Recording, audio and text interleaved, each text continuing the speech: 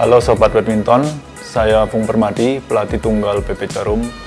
Dalam video analisis pertandingan ini, saya akan menjelaskan bagaimana bermain tunggal yang baik.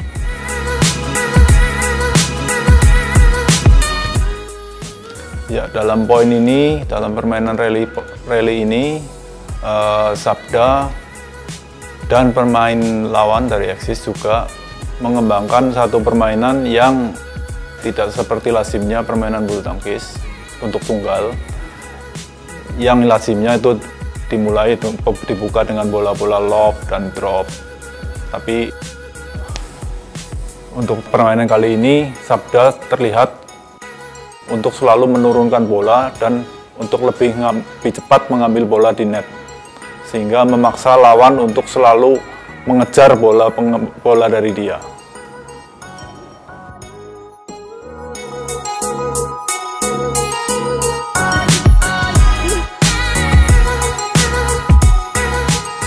Masih sama dengan yang tadi bahwa Sabda selalu walau bahkan dalam melakukan lob pun dia melakukan lob yang serang yang lob serang yang uh, relatif tidak tinggi sehingga memaksa lawan untuk tidak mempunyai peluang untuk melakukan persiapan untuk menerima pukulan-pukulan dari Sabda yang sebelumnya.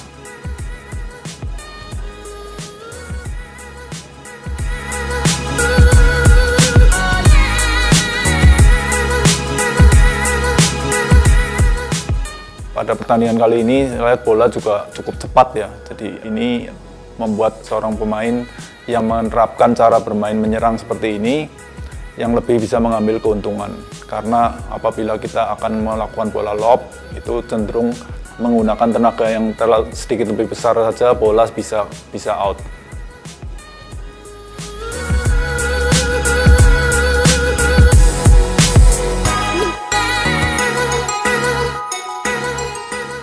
Jadi juga ini karena ada hubungannya dengan uh, bola yang cepat. Kita lihat kedua pemain pun juga melakukan pukulan uh, juga seperti sedang bermain ganda dengan pukulan-pukulan yang kecil relatif sehingga jadi lebih mudah untuk mengontrol tenaga karena koknya lebih cepat. Jadi kedua pemain ini mengembangkan satu cara permainan yang agresif sekali. Kita lihat selalu bahwa Sabda selalu juga berusaha melakukan smash untuk bisa mendapatkan poin.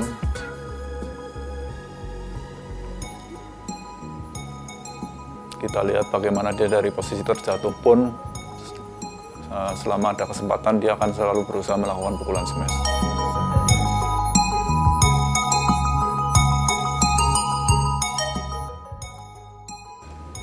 Sekian video analisis pertandingan dari saya. Sampai jumpa lagi. Jangan lupa subscribe, like, dan komen channel YouTube PP Jarum.